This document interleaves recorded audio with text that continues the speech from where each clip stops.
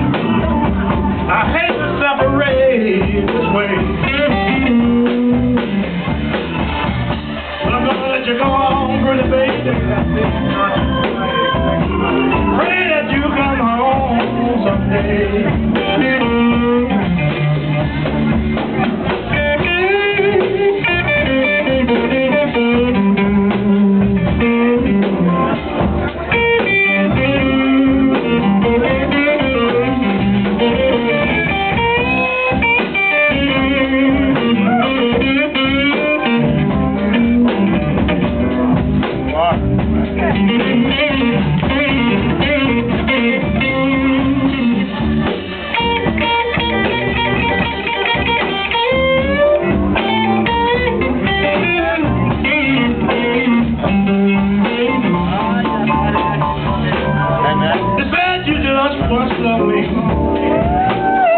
but I guess you changed your mind.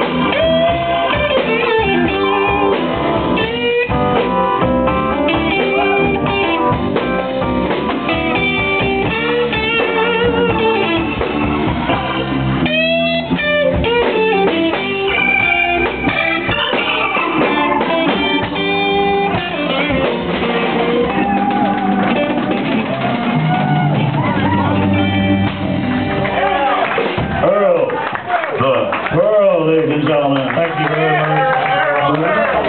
I start calling you Earl the Diamond Man, because, you know, that's shining right there. Give him another hand, one and only.